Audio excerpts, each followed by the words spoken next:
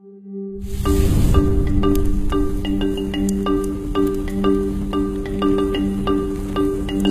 message will self-destruct in 5 seconds. Good luck, Ethan.